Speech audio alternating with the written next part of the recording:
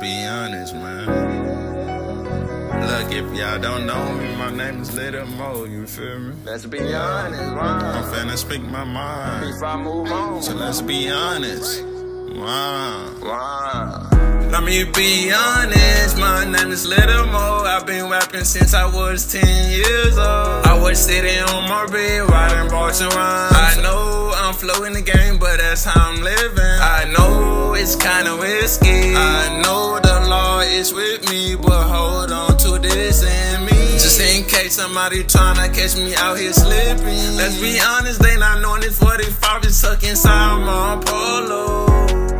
I studied low and shoot y'all see what the top like I'm so paranoid. D-Days I don't stop sign. I can't trust these stop pockets. I keep my grass mown so I can't see less less around me. I came from the hood with roaches and rats. I left the hood when I was young, ain't never going back. Let me be honest, my name Lil Moe. I've been rapping since I was 10 years old. I told I'm going to be the best thing I could be. I told my daddy I'm going to be the best thing I could be.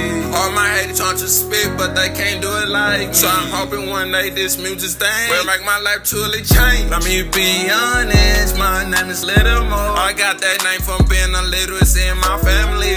And my last name Mo, so let me be honest. Yes, I made my own brand called BFG. The ones that don't like us, we laughing at ya. Y'all losing. Ha ha ha ha. Let me be honest, my name is Lil Moe. I've been rapping since I was 10 years old. Let's be honest. Be honest. Be honest. Before I move on, I had to be honest, you know? That's the.